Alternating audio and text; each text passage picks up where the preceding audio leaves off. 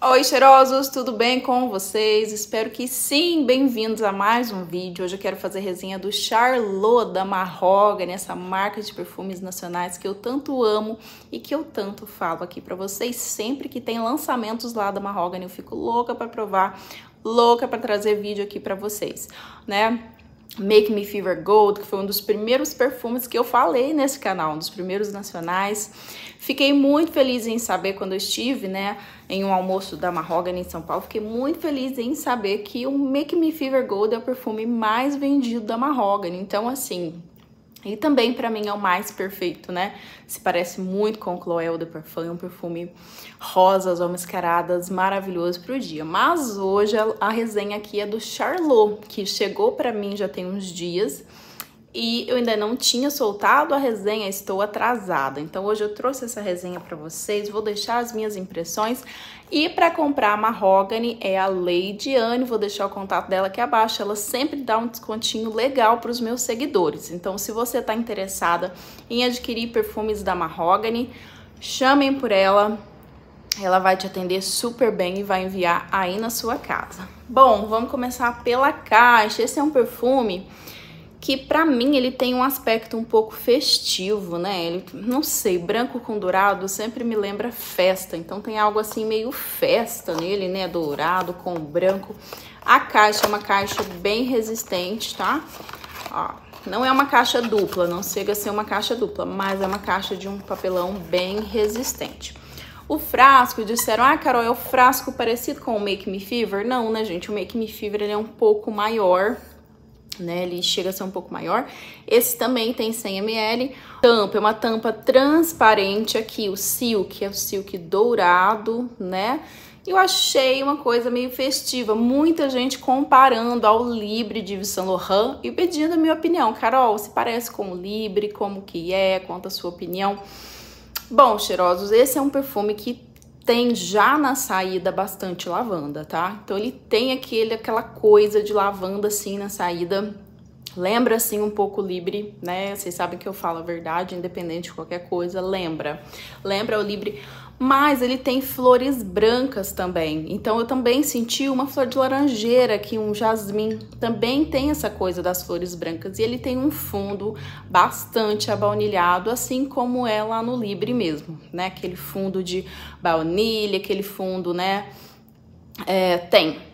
E a lavanda, né, esse lado aromático da lavanda, é o que o pessoal, que algumas mulheres falam era o toque masculino, né? Esse perfume tem um toque masculino. Algumas mulheres associam lavanda a perfumes masculinos, porque a lavanda, ela primeiramente foi usada em perfumes masculinos. Os masculinos, né, até hoje, a maioria deles tem lavanda, é, a maioria dos perfumes masculinos são aromáticos, são dessa família olfativa, e aí quando se usa muita lavanda em perfumes femininos, isso é até uma tendência mais atual de colocar muita lavanda nos femininos, né?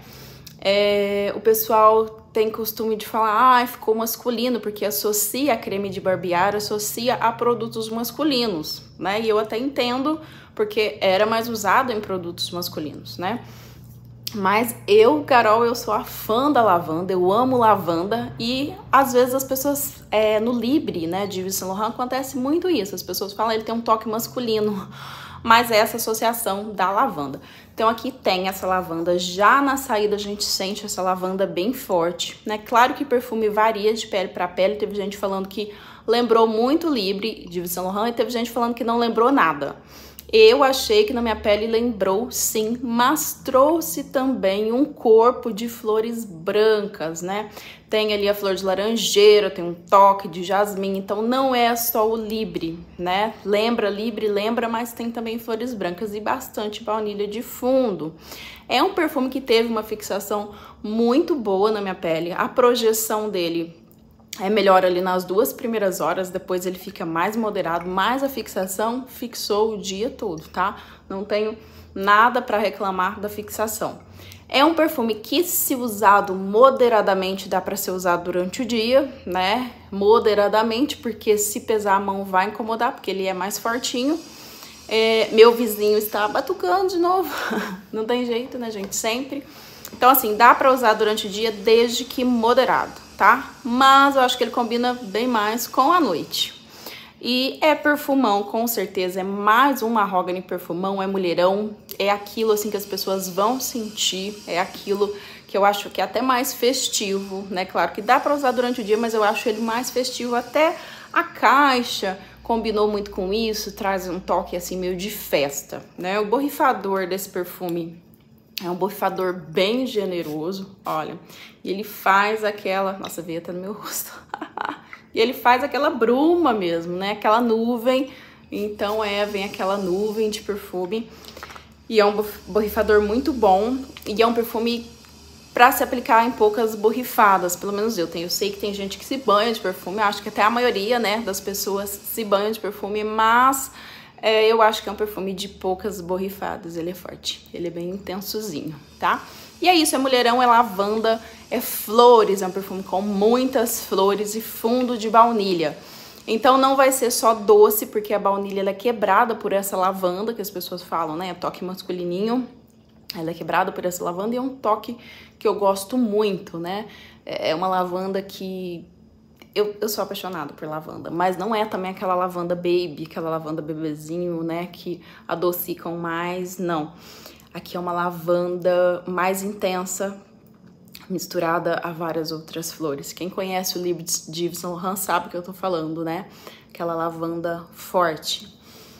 Ai, e é muito, gente, muito cheiroso você vai estar muito cheirosa. Não sei quanto que tá custando esse perfume, vou ficar devendo essa informação.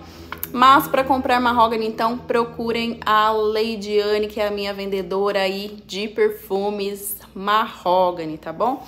Então é isso que eu tenho para falar do Charlot. Gostei muito do nome também. Achei o nome bem bonito, Charlot. Gente, lindo esse nome, né? E é isso, cheirosos. Se ficou alguma dúvida, Deixa para mim nos comentários se você já conhece, qualquer outra dúvida que tenha ficado. Se inscreve no canal, que é grátis, apoie. Se você está assistindo a TV, deixa seu like, isso me ajuda muito aqui. E eu sei que vocês sempre me ajudam. Fiquem com Deus e até o próximo vídeo.